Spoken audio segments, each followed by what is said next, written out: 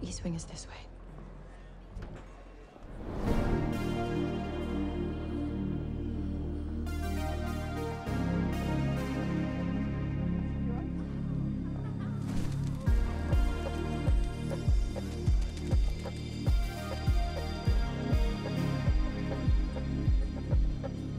I've been running all night. I got blood on my shoes. Oh, they're coming now. I thought you might like some company.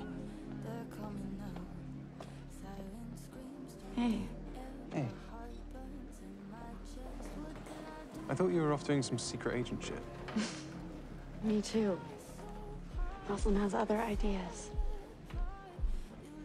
Aisha and Flora are on it, so I have to just make sure that Rosalind doesn't try anything this. What?